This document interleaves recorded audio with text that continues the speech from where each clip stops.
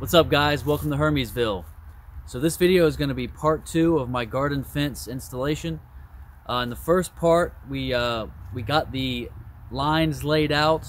Uh, we've got all the holes dug and I have the posts set down into the ground. So I used eight foot posts and I dug two foot holes down into the ground. So the fence is going to be about six feet high. So in part two today, what we're going to be doing is staining the wood. And I'm not going to show too much of that because um, watching paint being applied is about as entertaining as watching paint dry. So um, I'll show a little bit of that, but then we'll move on to something else. Um, after we get the wood post stained, we're going to be attaching the, um, the poly fencing. Um, I had the help of my wife for that one. It made it super quick. Uh, we worked, worked well together as a team. After attaching the poly fencing, we're going to be working on the gates. I'm going to have two different gates in two different locations just to give me a few different access points to the garden. And I'm going to show you how I do all that today. Please do me a big favor and go ahead and smash that like button. It really helps out the channel.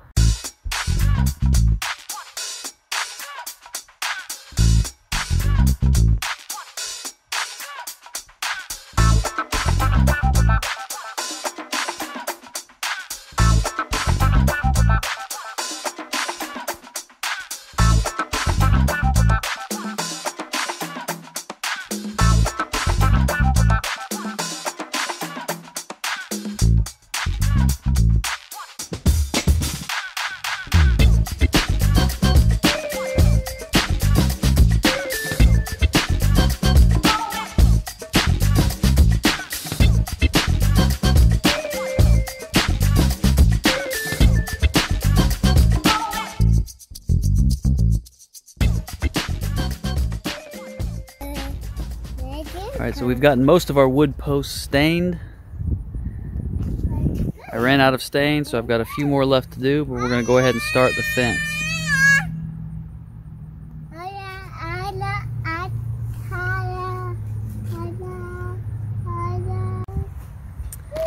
Fence I got is a Critter Fence 800. Got it from critterfence.com. It's a poly fence, it's plastic. Uh, it's seven and a half feet tall.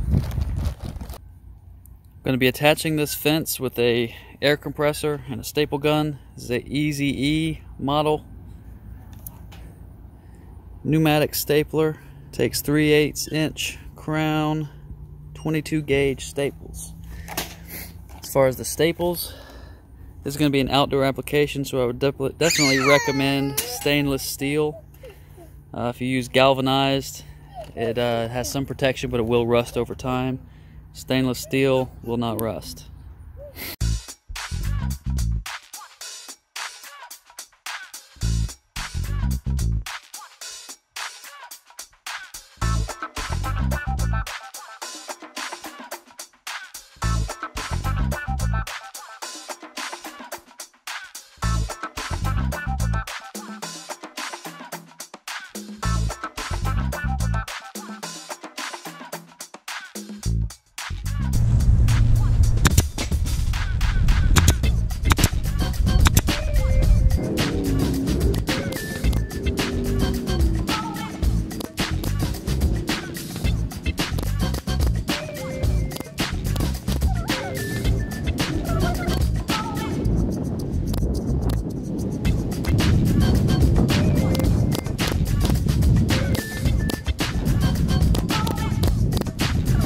Putting it, I'm stapling it right there because it always tries to pull back this way and that it can't. Because then it, if it tries to slide back this way, it'll catch right there and it won't slide.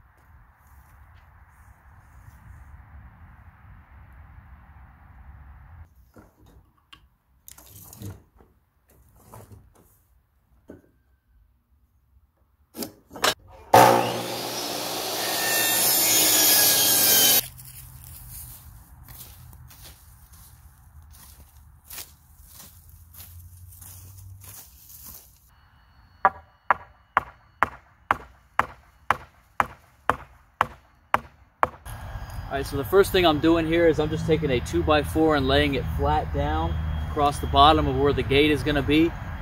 Um, the reason I do that is just to kind of give it somewhat of a, a, level and square base for the bottom of the gate and also close the gap a little bit so um, it'll be harder for things to dig out from underneath it. I got these little brackets from Lowe's. Um, technically they're for bridging, for cross bridging on um, joists and things like that. But uh, they were only 30 cents a piece, so I'm gonna try to use them for this and hopefully it works.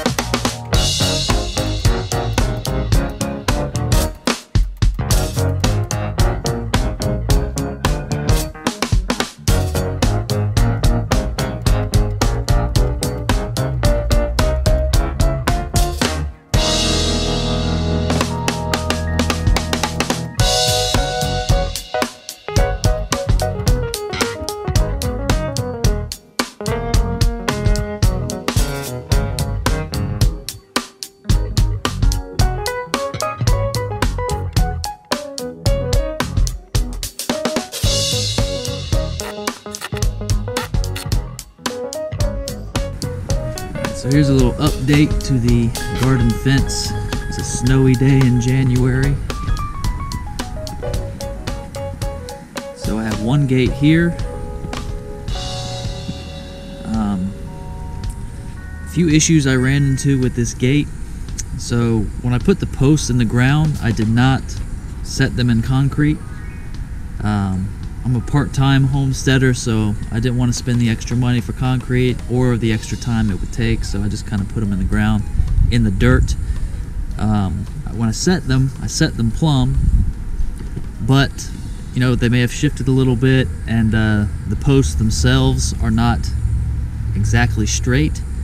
So uh, when I went to attach the gate, I ran into a little issue uh, down here. Uh, it was the edge of my gate was blocking up against the the post. And if you see up top here I got a little bit of a gap. So I made it work. Um, you know at the end of the day all I needed to do is just keep out keep out rabbit and deer. So uh, it's doing his job. Okay so on this side I have about an eight foot opening and uh, I wanted just a little bit wider opening in case I ever need to back a vehicle or truck back up in here. Um, so I only have one of these gates completed so far. Again, I'm a part-time homesteader right now. I've got a full-time job, two-year-old son. Uh, so very, very busy schedule. So haven't gotten to the other gate yet, but I will get it done before the spring. Um, I'm going to do just another gate some type of latch in the center. Gate construction was pretty simple. Um, I just used some two by fours, uh, got my dimensions, and then you know I measured and cut accordingly. I already had a lot of these brackets here and these angled brackets here and screws. I already had that on hand, so I just installed and fastened it together that way. I didn't want to go out and buy a Kreg jig or anything like that. Um, that's probably a better way to do it, but again, I'm on a budget and uh, I didn't want to go out and spend a lot more money on, on this gate. So